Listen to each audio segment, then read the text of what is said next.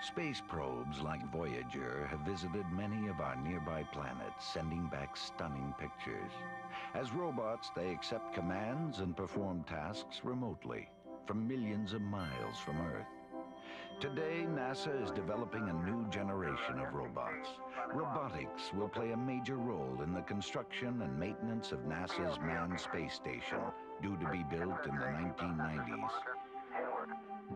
Jet Propulsion Laboratory in Pasadena, California, simulations are underway with a robotic gripper capable of transmitting a sense of feel back to its user. Other NASA centers are also involved in robotics research for the space station. At Ames in Mountain View, California, a unique system for operating robots is being explored using a specially sensored helmet and glove. As I make the fist gesture, the uh, pinchers on the end effector close. Robotics research at NASA's Johnson Space Center in Houston is being done on this robotic retriever.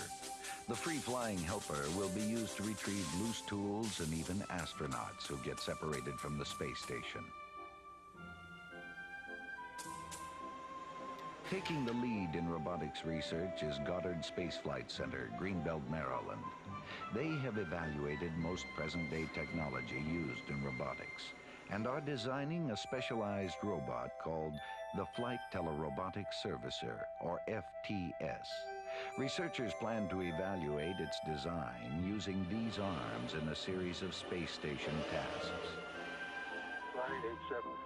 Robots will play a key role in many space endeavors that require man and machine to work closely together.